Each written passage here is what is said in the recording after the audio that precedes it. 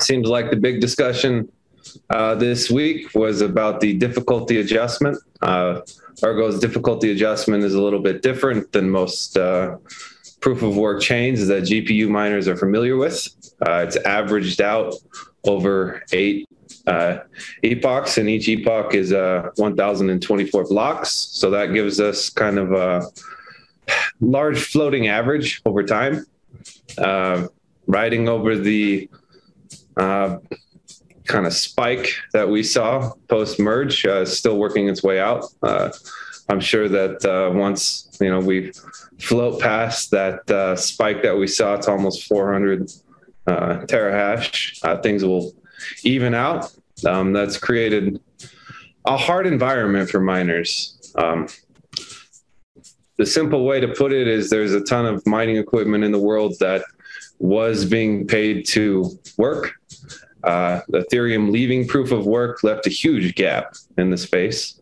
Uh, you know, I had like 95% of the revenue that was used to pay miners to run rigs. And so markets are going to reset. There's too many miners out there looking for work. And what happens when you have a job market that is full of uh, people looking for work? They compete against each other and they drive down prices, right? And so profitability is taking a hit across uh, proof of work. Um, it's a difficult situation.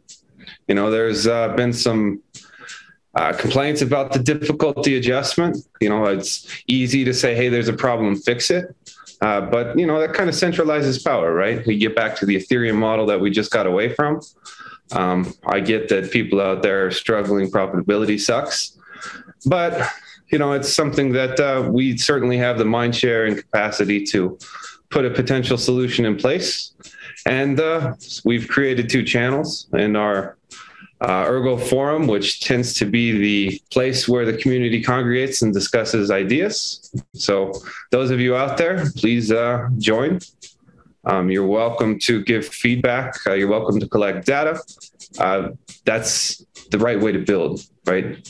Reactionary, uh, short term thinking uh, doesn't work well. Long term strategic planning and understanding of the situation I think will serve us better long term. And the reality is, uh, my recommendation is miners kind of need to forget the uh, Ethereum proof of work era because it's gone, right? It's just gone. It's not coming back. Uh, we need to move forward. And uh, I think we have the tools, technology, uh, and community to really take advantage of the opening that's been created for uh, GPU mineable proof of work but that's something that you can't market to. You got to build, right? Uh, there's a lot of uh, cheap marketing in crypto that really doesn't have follow through, and uh, yeah, that burns out really quick. Versus if we build solid technology, solid use cases, um, build things the right way, that'll last. So long term vision here is uh, going to be important moving forward.